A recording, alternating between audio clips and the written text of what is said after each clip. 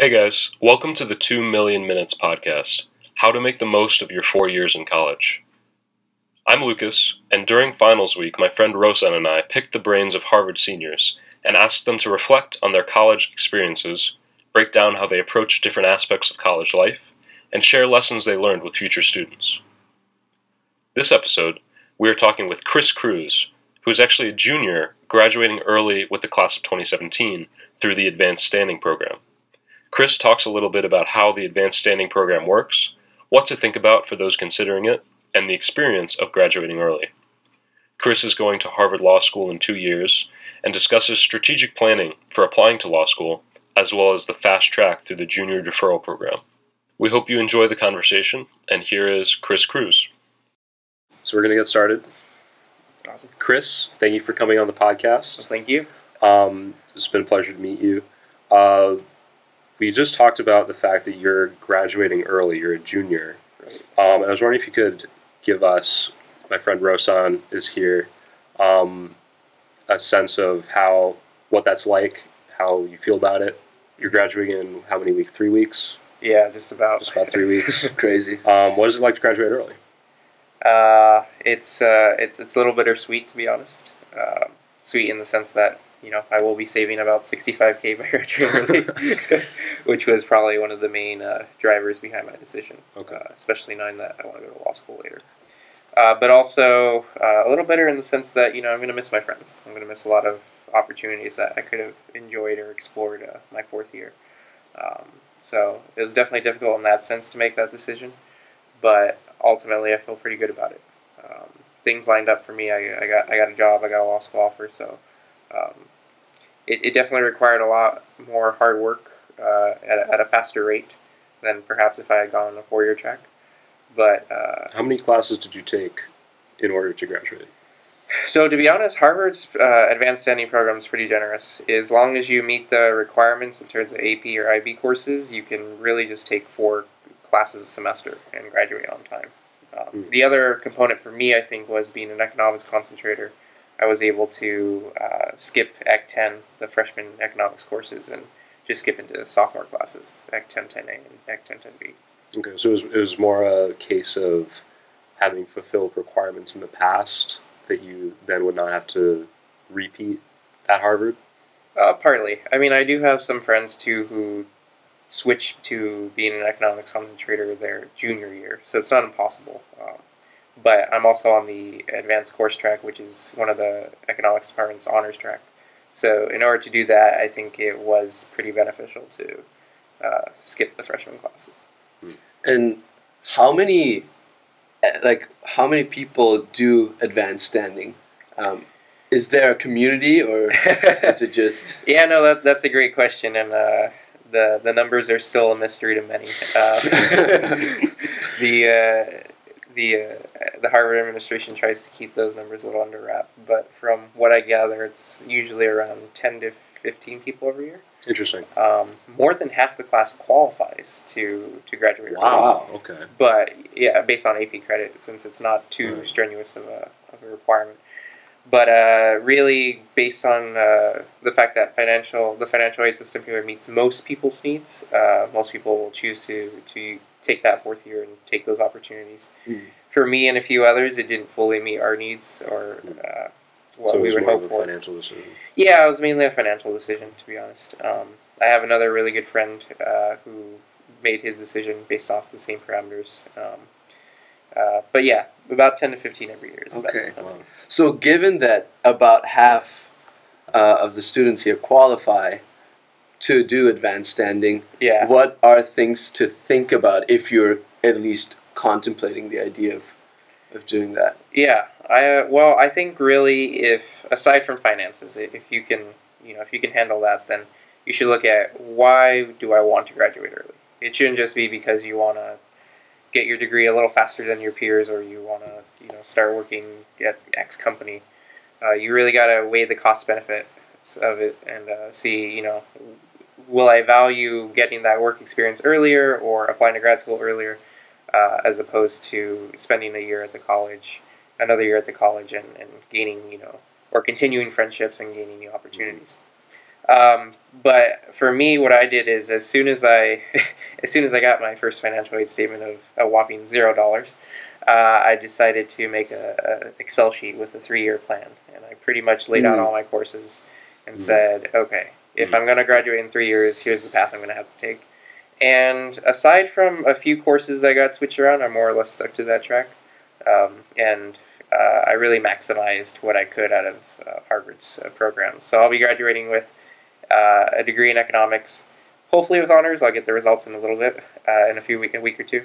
Uh, a government secondary and a language citation in Spanish. Wow. And all of that in three years. In three years, yeah. So, so when you made that Excel spreadsheet, what were some of the things you looked at to determine what you would have to take? Yeah, uh, well, definitely trying to bust out uh, all the requirements uh, and some of the easier requirements as fast as I could. Um, and also looking to see what classes overlapped. There's a lot of uh, classes that can uh, quote unquote double count. Hmm. So you can find a nice economics class that also counts for societies in the world or uh, a different gen ed requirement. Um, so I think I during my time at Harvard, I only took one class that was only a gen ed. I think um, the rest were all like within a departmental unit. So in that sense, uh, just trying to maximize as much of the courses that I could. Yeah. Um. So, do you th- do you did you apply like the same strategic type of planning to other areas of your life? It seems like you at least put thought into what you wanted to do in the limited time that you had here at Harvard. yeah. Um, and do you have like any advice for other areas of, of student life, college life, for you know freshmen or sophomores looking to make the most of the little time? Just all, just all students. Or yeah, Yeah, yeah. I mean, I think uh, to, to answer your question about applying that sort of strategy or methodology to other areas, there's there's I guess two areas that came uh, right away to my mind. The first is extracurriculars. Um, for me, knowing that I that I was going to graduate in three years, I, I really had to think about okay, where do I want to be in three years? Do I want to be uh, on the board of X club, or do I want to be uh, very involved in, in Y organization? And so, excuse me. So planning that out, uh, I kind of had to set a timeline, and I was running for positions a little earlier than I thought I would. And you know, sometimes it, it didn't work out. Sometimes there's there's positions that I tried for and I didn't get, but there are others which I pushed myself for, uh, and uh, and ended up getting those positions. And um, I'm happy with the way I, I pushed myself, even if I didn't get everything I wanted, um, because you know you have to make the most of your opportunities while you're here. Um, the second area that came to my mind was um, the second area that came to my mind was preparing for law school. Um, so for me, uh, I was on a very fast track in the sense that the summer after my freshman year, uh, I, I took an LSAT prep course, and then that sophomore fall, I had I'd taken the LSAT already. Um, Jeez. which which if, if you if you're a freshman listening to this, don't don't worry too much about uh, studying early for the LSAT. Take it when you feel comfortable and when you feel ready. Um, it was just a very ambitious track that I set for myself. it worked out. Right? So you're on your way to to go to law school. Yeah.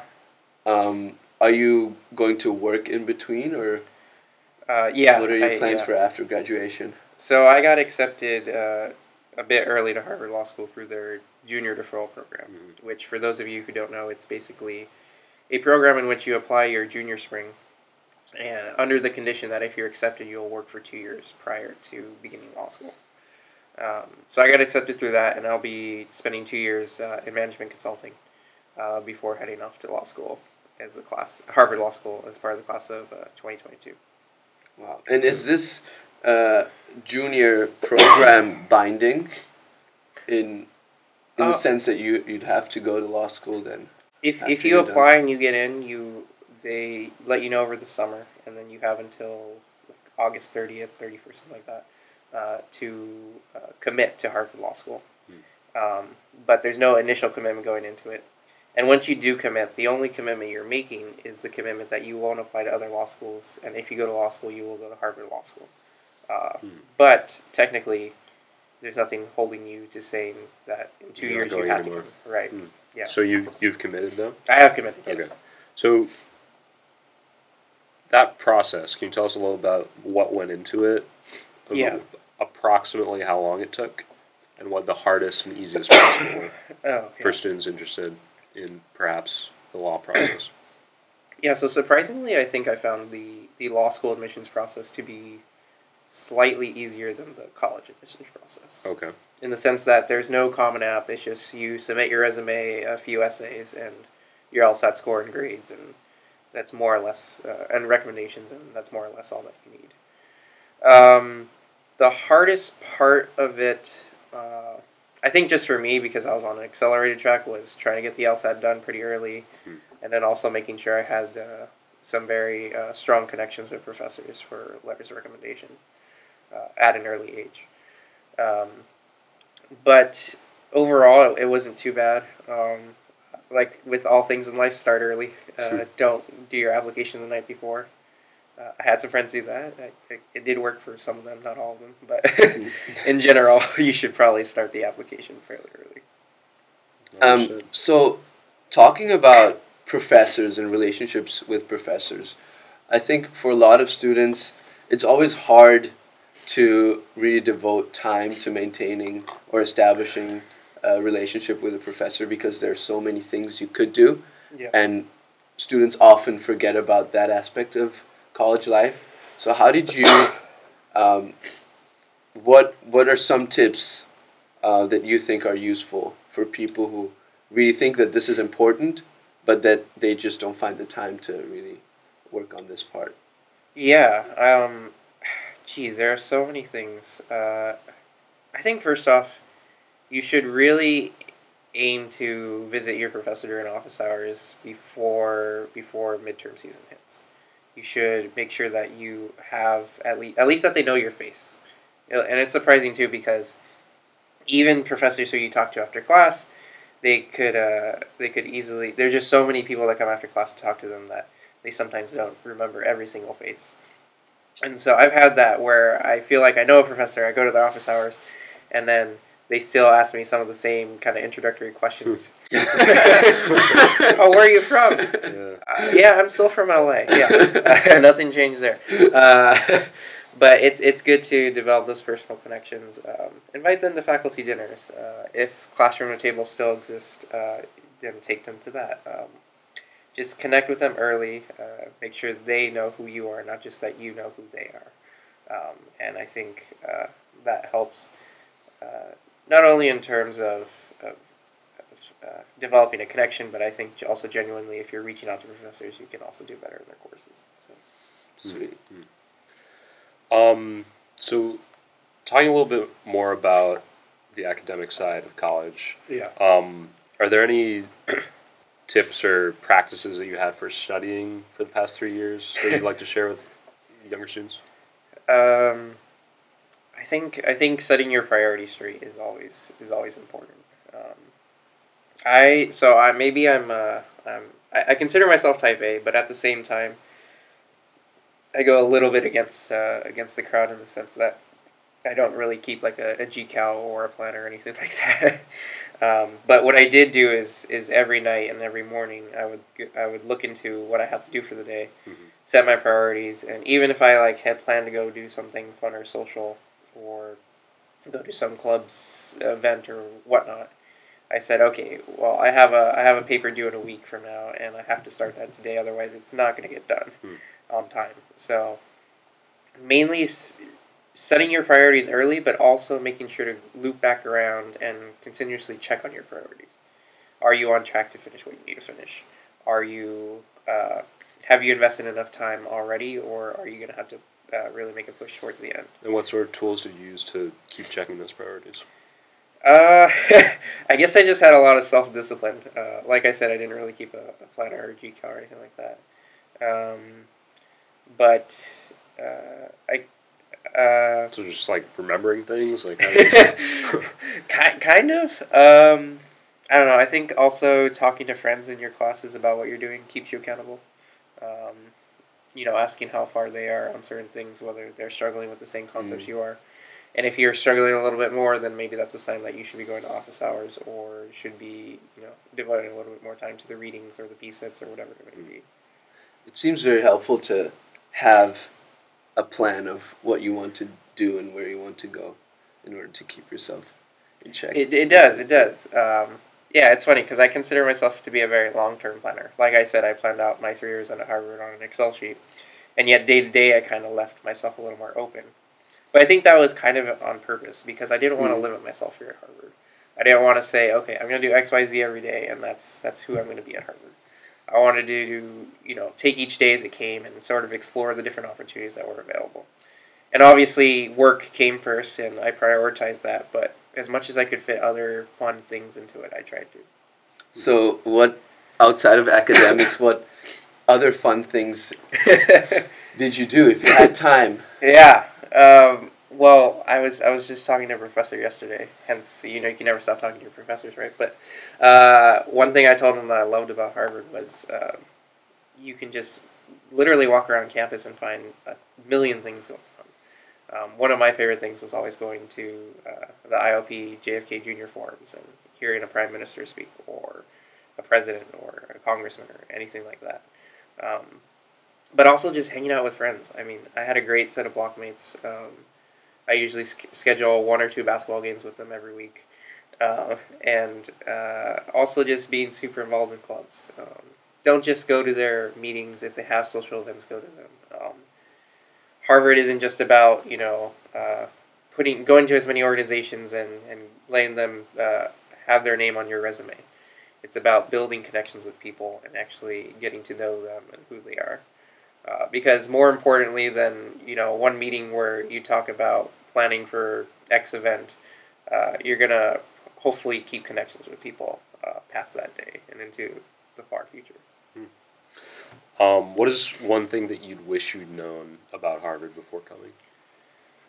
Ooh, that's a good question. Um, I th- oh, so I guess one thing I wish I would have known is that it's not so much that there are people who succeed and people who don't succeed at Harvard, but rather there are periods in every Harvard student's life here in which they don't meet as much success as they wish. And I think that there is a stigma at Harvard to saying that I'm not doing as well as I want to do, that I'm struggling but at one point or another, every Harvard student seems to go through that. Um, for me, it was my freshman fall. Um, I did not do as well as I wanted by, by any measure. Um, and really, I had to reflect after that semester and think to myself, okay, am I still on track to be applying to a great law school or to, you know, hopefully getting a job after college? Um, and it took a lot to, to really dig down deep and say, okay, I got to work a little harder. I got to look uh, to to be a better student and to to still maintain my my relationships. Um, but the thing that also was very the other thing that was also very apparent to me as I went through that reflection period was that I wasn't as engaged in service as I had been in high school. And for me, that was a huge motivating factor in everything I did. So it, when I came back to campus in the spring, that's when I joined the Small Claims Advisory Service, which is arguably the organization I've devoted the vast majority of my time to here at Harvard. Um, and being able to help uh, clients with real legal issues and being able to give back to the greater uh, Boston and Massachusetts community, that inspired me and motivated me every day to continue forward, even with the struggles that I sometimes had in the classroom or outside of the classroom. I knew that I was having an impact on this world and that I had to keep fighting, not just for myself, but for others, so that I could leave this institution and hopefully contribute in an even larger way. And so I think at the end of the day, you really have to find what motivates you. You have to keep fighting for what you believe in and never lose sight of that, no matter how hard any one particular day can be at Harvard. Okay, there's a there's a lot of things going on here at Harvard, so it can be quite hard Yeah. to really do what you wanted to do or do what you set out to do before coming here. And that's not to say that um, you shouldn't change, but there's Yeah. a lot of distraction and fear of missing out. Um, Yeah, so that's very, very valuable. The, the pressure vortex right. Ooh, sucks you in. I like that. Too. Sort of in that same vein, um, as a law school applicant, Yeah. you're involved in the pre-professional world at Harvard. To a degree. Yeah. Did you did you what do you feel that culture's like? It might be different for you know someone who's interested in law school versus someone who's interested in consulting. But what do you think that the pre professional atmosphere here is like? Yeah, I think. Well, I think yeah, I think like you said, the pre-professional atmosphere depends on what you want to do. Um, obviously, if you're applying to med school, there are you know like eight or whatever different requirements that you have to meet before applying. For law school, there's no one set path, um, and Harvard specifically doesn't have a pre-law concentration, so I guess that eases the burden of uh, trying to force your way to law school through that. um, but you know there are there are a number of different legal organizations here. Um, they all will say that uh, they help you in some way, and I, I'm sure they, they do. But I don't think you should feel compelled to join an organization simply because you think that it'll help you get into a, a law school or any other grad school for that reason. Um, like I said, I, I do work with the Small Claims Advisory Service, which is uh, a nonprofit legal based organization. But that was more because I was looking for a way to contribute back, not because I thought it would help with law school. I mean, that, that was an added bonus probably, but um, you should do what you want to do, what you enjoy, and what motivates you. Um, because at the end of the day, that's what, if you do what you love, then you're more likely to succeed and the activities you succeed in are the activities that are going to show and really glow on your resume when you apply to certain things. So, d- did you feel like that way of looking at things was supported by the campus, or did you feel like that sort of ran counter to what was ex- what was sort of expected of you? Not not expected, but what you felt like you should be doing. Yeah. Uh, so it's interesting. You said, is it supported by the campus? I think from Or the, or the, yeah, no, the no. culture on campus. No, no, no. Yeah, so like from the administrative standpoint, they'll tell you, you know, do what you want to do, right? But from, I guess, the student perspective, depending on who you engage with, there could be more or less pressure to sort of, you know, silo yourself into one specific category and only focus on pre-professional groups or um, groups that, you know, have some sort of reputation that would look good on a resume. Um, and I mean, I think to a degree, freshman year, like I tried a, a few groups that kind of appealed in that way, but I just couldn't find the motivation to stay in those clubs and organizations. And ultimately, I had to go back to what I believed in, what I, where I found my sense of community, and I found that to be much more uh, beneficial and supportive of my success than than going just the standard route. Okay. Um, what is one piece of advice that you would give to rising sophomores slash freshmen Yeah. specifically about uh, what to expect or what to take a look at? I would say, I would say, never forget who you are and why you came here. Um, I think there's so much tendency to be pressured into doing things that you may not want to do or that you feel compelled to do. Um, you know, before coming here, I'm sure a lot of people can't name like all the big consulting or investment banking firms or whatever. And yet, at some certain stage in your freshman or sophomore year, you're like, I gotta apply to those jobs. Otherwise, I'm not a successful Harvard student, right? But that's that's just not true. Um, you got to do what makes you happy. You got to find what motivates you, and uh, you, you just got to enjoy the experience. I mean, Harvard's just a really unique place. Um, not everyone gets to go here, and the fact that you're here is, is in my opinion, uh, truly a blessing. So take every opportunity you can, maximize your time. Um, I mean, we're already good at not getting too much sleep, but you can always spare another hour, right? So go to that extra event, uh, pour your heart out into your papers, and uh, make sure that you develop those really great friendships. Well, thank you so much. Yeah. Rosan, any final questions? Um, no, I just I thought this was very enlightening, especially the last part. Just staying true to who you are and being aware of your motivations is very powerful. And um, having a perspective from someone who's leaving this place um, is great. Temporarily. It puts things into, into perspective. Yeah. um, just expanding a little bit more on that. Yeah. Um, do you think there were any specific, uh, not necessarily programs or sort of instances that helped you uh, get a better sense of quote unquote who you are, or what, what sort Oh. of helped you develop that idea? Yeah, yeah. Um, so, so like I, I mean, yeah. I, so I guess you're asking like more like uh, what instances or situations helped me discover who I was and like, Sure. You know, what motivated or a little bit of an abstract question. yeah no I, I feel sure. that um, if I if I don't answer this the right way you, you let me know if you're going towards something else Don't but about it. I think uh,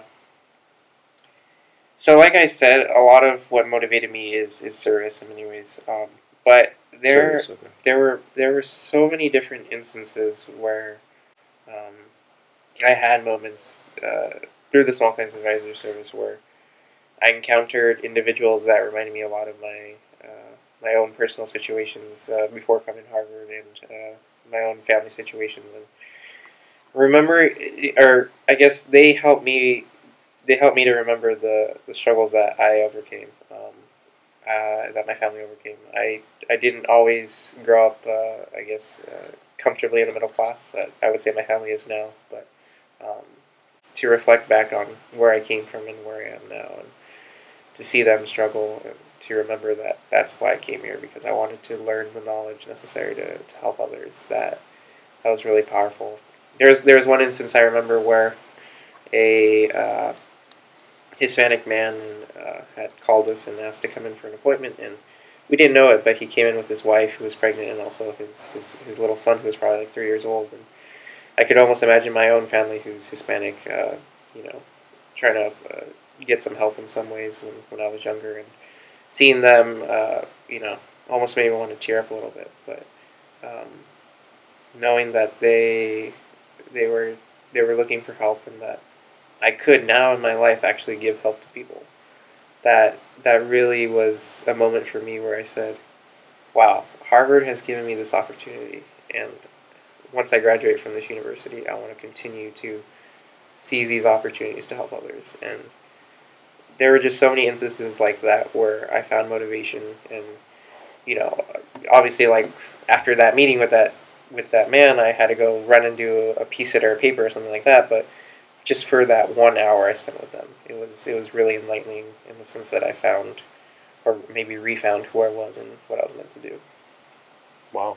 Thank you so much for coming on the podcast. Thank you, Lucas. really appreciate it. Yeah, thanks, Chris. Um, what are you most looking forward to for commencement? Are you Oh, participating yeah. in the? Uh, yeah, I am. Okay. I'm I'm walking early, I guess. There you go. Um, maybe I'll sneak into senior week next year, but no, this is gonna be my senior week in commencement. Um, I think it's just gonna be great to, to have my parents and, and grandparents around. Um, a few of them have not ever seen Harvard, so um, to know their stories of how they work so hard as immigrants in this country, um, and really from literally nothing but the clothes on their back to seeing their son and grandson graduate from Harvard, I think is uh, might bring tears to their eyes, but also tears to my eyes. So. Wow. All right. That is Chris Cruz, thanks so much. very Thank you. Appreciate Yeah, and thank you for joining us.